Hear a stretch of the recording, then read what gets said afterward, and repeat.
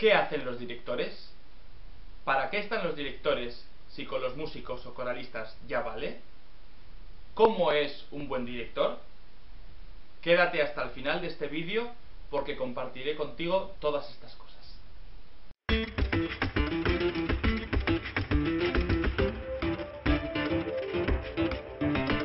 Ser un director no es una cosa sencilla y me gustaría acercar a todo el mundo en general lo que hace un director y para qué sirve. Por lo que hoy te traigo un resumen de los puntos más fundamentales que tiene que reunir la figura del director. La figura del director. Como introducción, decir que yo me voy a centrar en la figura del director en general. Es decir, me sirve directores de orquesta, directores de banda y directores de coro. Bien, el director en general sirve para coordinar a los músicos. Muchas veces pensamos que el director está ahí y no, no es así, sino que un músico o un director son lo mismo, son miembros de la misma agrupación. Y vamos a hablar sobre dos puntos. Primer punto, ¿para qué están los directores? Para empezar, los directores están para que los músicos vayan juntos, para que empiecen a la vez y para que terminen a la vez. También están para algo muy importante, que es trasladar una idea musical a los músicos. Es decir, el director se estudia bien la partitura, tiene una opinión sobre ella y sabe trasladarla a los músicos. Y al mismo tiempo también está para equilibrar el sonido. Tengamos en cuenta que los músicos están muy juntos muchas veces y no se pueden escuchar bien entre sí. El director está a una cierta distancia y puede desde su situación equilibrar el sonido, decir un poco más por aquí, un poco menos por aquí, escúchense por aquí y así. Segundo punto, ¿cómo tiene que ser un buen director? He dividido esta sección en seis partes. Primer punto, el buen director debe tener claridad de visión y claridad en la comunicación. Claridad en la visión para saber y ver qué es lo que quiere conseguir exactamente con la obra. Y claridad de comunicación para saber qué quiere comunicar a los músicos. Segundo punto, debe de tener capacidad de empatizar con el grupo. Debe de saber ponerse en la situación del músico o del coralista y poder conectar con él. Tercer punto, confianza. El director debe tener la confianza con los músicos y los músicos deben tener confianza en el director. Para ello el director se tiene que ganar la confianza del grupo. Esta sí, ¿eh? Esta sí. La confianza es muy importante en todos los sentidos. Por ejemplo, ante las dificultades en un concierto, el músico debe tener la confianza plena en el director y dejarse llevar por él. Es decir, que el músico o el coralista debe sentir que el director está ahí para lo que haga falta. Cuarto punto, humildad. Todos debemos ser humildes y dejar el ego a un lado, pero es el director el centro de atención y por lo tanto es el que debe dar ejemplo a los demás de su humildad. El quinto punto es importantísimo, quizás de los más importantes. Es gestión del tiempo en los ensayos. Y no solo en los ensayos. El director debe saber gestionar el tiempo en todo momento. Desde la preparación de unos programas de concierto para saber cuánto tiempo hay que ensayar, hasta en los mismos ensayos ser eficaz y eficiente, poder gestionar bien el tiempo es crucial para el grupo diría que los puntos más importantes son el tener una idea musical y saber comunicarlo y gestionar el tiempo. Por último está el tema que todos esperamos, que es el gesto. Mi profesor decía que la música esculpe el gesto y se me ha quedado ahí. Me parece una frase brillante. Pensamos que el gesto solo son los brazos, pero en definitiva el director dirige con todo el cuerpo.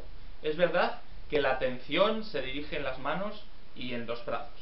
Ahora os voy a explicar unos gestos básicos del director. En ellos tendremos en cuenta el compás, el tempo, la dinámica, las articulaciones y el fraseo. Antes de empezar, decir que menos es más. muchas veces esperamos que el director haga unos gestos grandes. En la dirección, si podemos hacer las cosas con menos, será mucho más claro. Es muy importante la autenticidad del gesto. Es decir, que el gesto sea natural, que sea auténtico.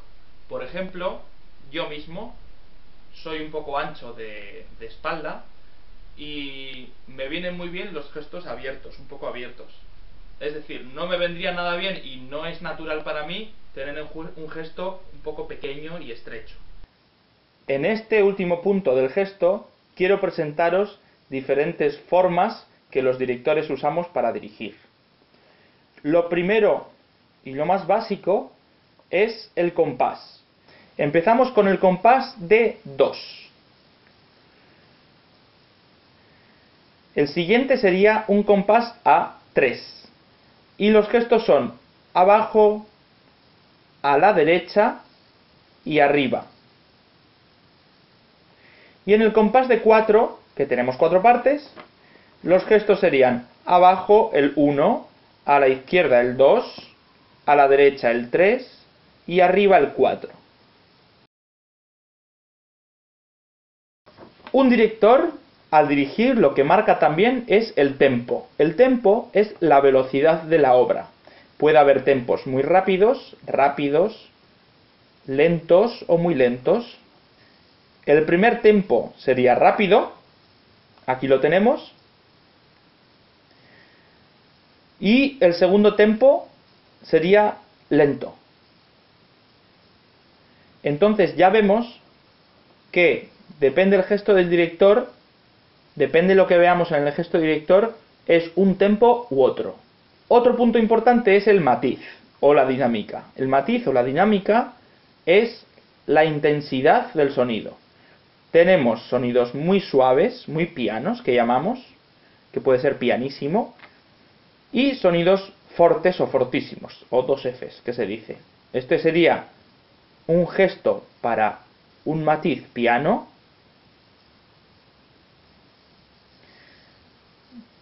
y este sería un gesto para un matiz forte.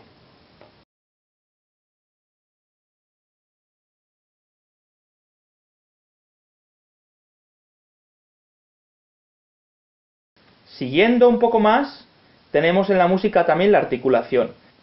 ¿Qué es la articulación? La articulación, en resumidas cuentas, es cómo emitir el sonido.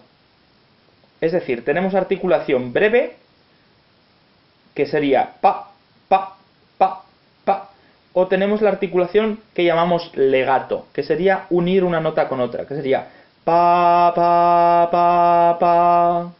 Eso trasladado al gesto sería así.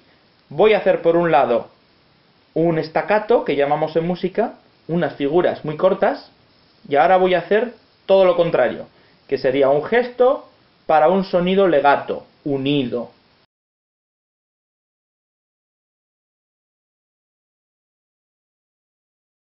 Por último, tenemos el fraseo. El fraseo, como bien indica la misma palabra, es cómo se frasea la música. Podemos tener fraseos cortos o fraseos largos. Voy a intentar hacer la diferencia entre un fraseo corto y un fraseo largo. Este sería el fraseo corto.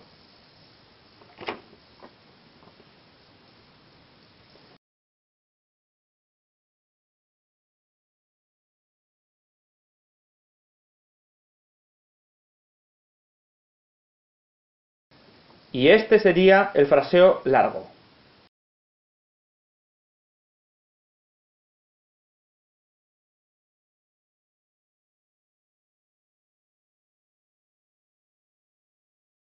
Muchas gracias por ver el vídeo. He intentado ser lo más claro y lo más breve posible.